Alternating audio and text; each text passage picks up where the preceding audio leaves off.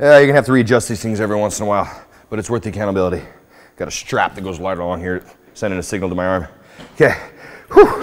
we are moving right into stiff-legged deadlifts. Then we're gonna run right over there where the camera guy is, and we're gonna do some good mornings. This is a hamstring lower back blast. Okay, what are straight legs? That or that? That little bit of bend right here, that just tiny little bit, tell me you can see that. It's there? It's not there straight, and there. Just the tiniest little bit of unlocked. Depends on where you're at with your back. Now, I will not be able to take this all the way to the ground. Why? Because I want my back to do it. So if I'm keeping my back here and my legs straight, this weight is obviously going to be way heavier and take me down further, but not a lot further than this, and then I'll be coming back up. I'm basically going to lower down till I feel my hamstrings about to rip out. I don't know how else to word it. You're going to feel it right above your knee insert, right where your hammy ends down here into your knee is just going to feel like it's going to rip out. I'm wording that that way because I don't want you to be scared. That's what it feels like. It doesn't. I haven't had one rip out yet. I don't know anybody that has, but there's no other way to word it. It's going to feel like it's going to rip out. Just do your damn rip. Once again, being safe. Now, I'm going to go a little more of a sumo. Well, I'm going to do wider grip. Here we go. Now, another trick as you're doing this, as I'm preparing, I forget.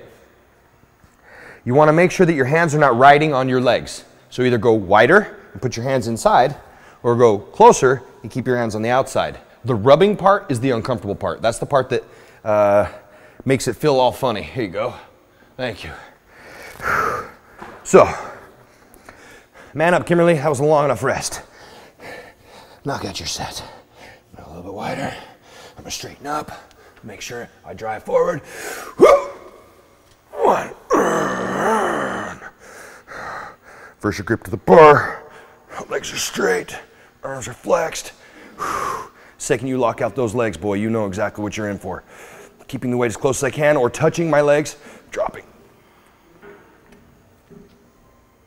One.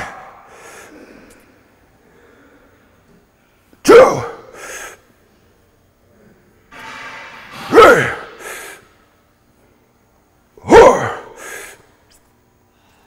Five, I've chosen to keep my legs locked. Locked means, locked means locked.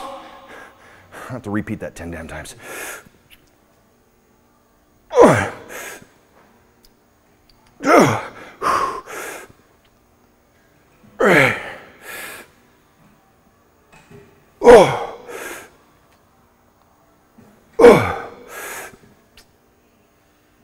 because I'm talking to the camera, I don't even know what my number is.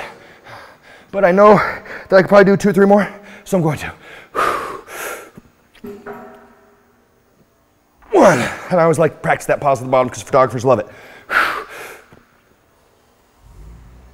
Two, then practice not making an ugly face. Ah, come on!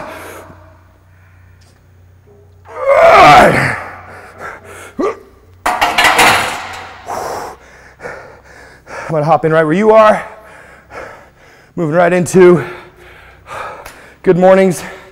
There is no rest. Hamstrings are now plenty warm enough for this. This is the exact same experience, my friends. A couple ways to do it. I'll do it with my legs all the way to the sides. One of the reasons why I like to do it that way because it squares it up. One, two. See that arch in my back? Trying to keep that all the way down.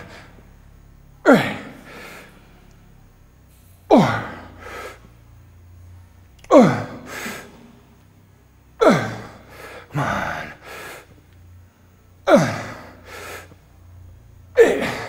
Bring it in.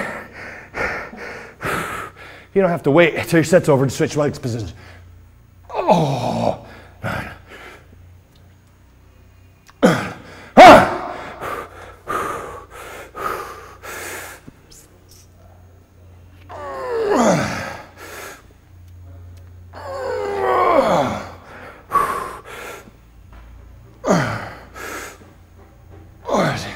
Now I can bend my legs. 15, that's bent leg. Be honest with you, that just got a lot easier. Five more.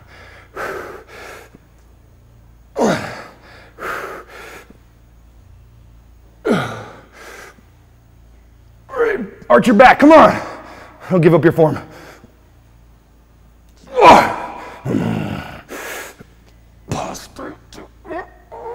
Okay. That you can easily cheat on. Easily cheat on that. What's cheating? Cheating is I didn't go all the way down to where my hamstrings had to engage.